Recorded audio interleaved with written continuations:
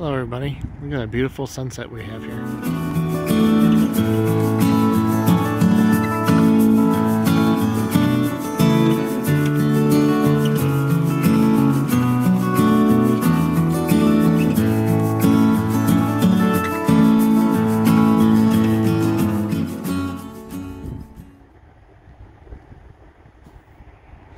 We're at an Alabama State Park. Southern Alabama. It's uh, I can't remember the name of it, but uh, we're real close to the uh, the ocean. So it's that part of Alabama, right next to Florida. Um, I didn't film anything at the last couple stops we were at, so I'll just give you a little tour of our campground here and then I'll uh, do some talking. So we left Michigan about 10 days ago or so.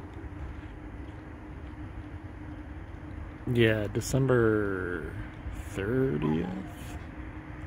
There's our RV. um, came straight down.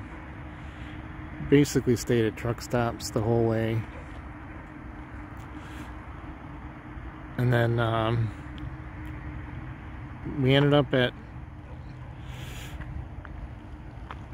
we ended up at a um, campground I think it was in Alabama. And it was a just a real quick pull off. There was really nothing there. Um, but it was you know fairly inexpensive.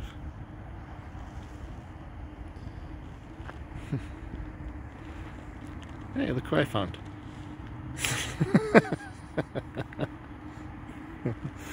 then we ended up down in um, Panama City Beach. We uh, visited Wayne. He hooked up two more batteries for us. And then we went to a KOA, I believe, after that. Which was nothing special. then we came here, and I'm really happy with this spot. This is a really nice place. And then from here, we're heading west. So while we were down in uh, Panama City Beach at the campground there, we were staying at Campers Inn. Uh, pretty nice place, kind of expensive, but we liked it. While we were there, there's we walked down the road to a um, a bar called Hammerhead Fred's, and they had um, it was on Friday. They had all you can eat uh, fish and chips, so it was it was pretty good. So we went down there, and then we had, they had a live band. So here's some clips from the live band.